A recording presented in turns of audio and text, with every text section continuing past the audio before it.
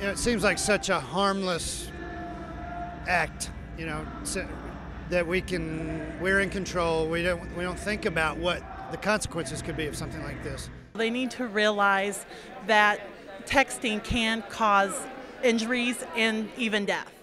With today's technology, texting while driving is a serious problem among all ages, and it's going to take the entire community to stop it. My dad takes my phone whenever I'm driving. I've been guilty of it myself, and I um, have really had to step back and take a second thought about it because of my own children. During KHQA's visit to Keokuk High, we reminded these students to think twice before taking their eyes off the road. But at first, many seemed resistant to the idea that texting could cause accidents. Two students who told us they're masters at texting were asked to walk and text at the same time while blindfolded. They discovered it's not so easy.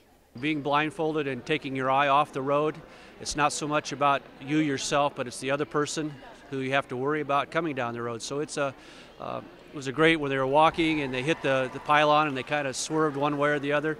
They pull the car one way and can run into somebody else, and that's the seriousness of this situation. It wasn't worth the text message to hurt somebody else.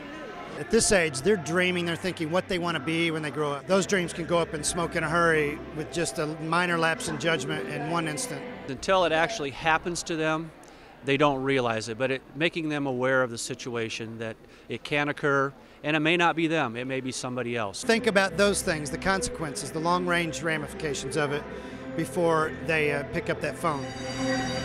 Just let it ring. Brooke Hash, KHQA News, Keokuk, Iowa.